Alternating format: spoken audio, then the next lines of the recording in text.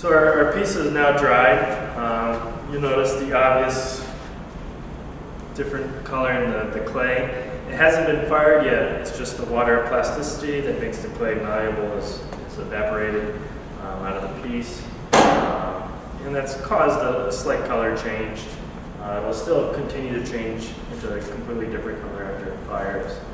Um, but at this point, um, this is probably the most fragile state of the clay.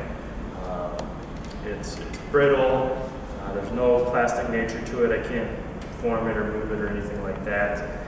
Um, at this stage, my options are, are fairly limited. I can uh, carve it with sharp tools, uh, either remove some material, I can sand it, uh, and some sandpaper, something rough enough, I can sand the surface.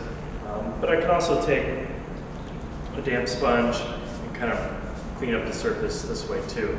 You notice that it rehydrates the clay, uh, but it also kind of smooths out the surface.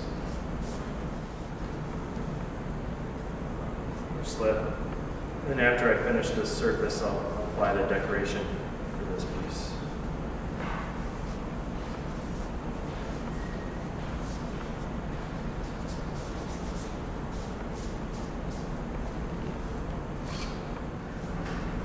So for the painting stages, um, most of the, surface decoration was primarily a red iron oxide wash or some kind of iron oxide based uh, wash, uh, whether it be uh, natural iron oxide deposits or a clay based iron oxide uh, mixed with water.